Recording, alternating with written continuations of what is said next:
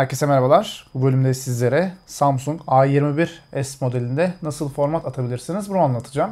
Bu işlem için öncelikle cihazınızda bir Gmail adresi kayıtlıysa bu Gmail adresinizi ayarlar bölümüne girip ayarlar bölümünden hesaplar bölümüne tıklayıp buradan bu Gmail adresinizi kaldırmanızı öneririm. Aksi takdirde cihazınızda bir Gmail adresi kayıtlıyken telefonunuza format atarsanız cihaz açılış ekranında bizden bu Gmail adresini ister.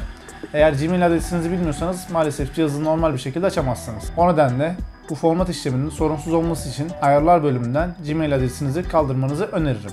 Daha sonra telefonumu buradan kapalı konuma getiriyorum. Burada ses yükseltme ve telefonumu açma kapama tuşuna aynı anda basıyorum. Titreşimi duyduktan sonra telefonu açma kapama tuşundan parmağımı çekiyorum. Ses yükseltme tuşunda parmağım biraz daha basılı kalıyor. Logo geldikten sonra ses yükseltme tuşundan da parmağımı çekebilirim.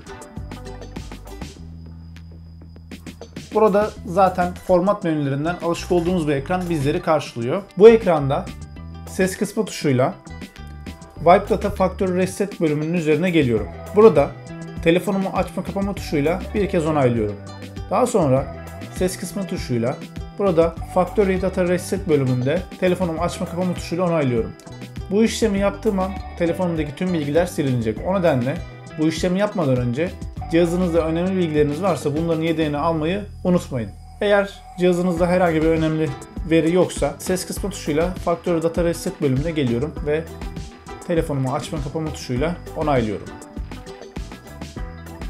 Evet burada en başta bulunan Reboot System Now bölümünde tekrar onaylıyorum. Ve burada cihazımın açılmasını bekliyorum. Bu arada bu işlemlerimi referans cihazım olarak Samsung M11 modelinde gerçekleştirdim. Siz bu videonun başlığında belirttiğim cihazınızla bu işlemleri gerçekleştirebilirsiniz. Herhangi bir farklılık yok. Evet burada cihazımın açılmasını bekliyorum. Evet şu an cihazım açıldı. Buradaki ayarlamaların bitmesini bekliyorum. Evet bu başlangıç ekranından ileri deyip tüm bildirimleri onaylayıp buradan cihazımızın ana ekranına ulaşabilirsiniz. Bu işlemleri yaparken herhangi bir problemle karşılaşırsanız videonun yorumlar bölümünden bana ulaşabilirsiniz. Bu tarz videoların devamı için kanala abone olmayı, videoyu beğenmeyi ve yorum bırakmayı unutmayın. Bir sonraki videoda görüşmek üzere. Hoşçakalın.